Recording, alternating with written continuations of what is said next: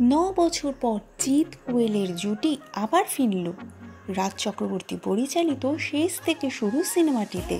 এই জুটির কামব্যাক ছাড়াও এই সিনেমার আরেকটি চমক, এটি অভিনেতা জিতের পঞ্চাশতম সিনেমা। এই ছবিটি মুক্তি পেতে চলেছে আগামী পাঁচই জুনে।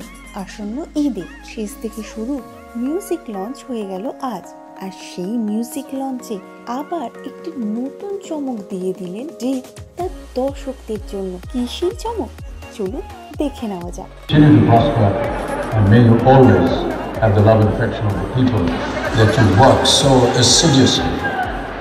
Thank you once again for giving me this affection and an opportunity to wish you on this release of the film. May you ever do well in life. Thank you. All Continue to prosper and may you always have the love and affection of the people that you work so assiduously.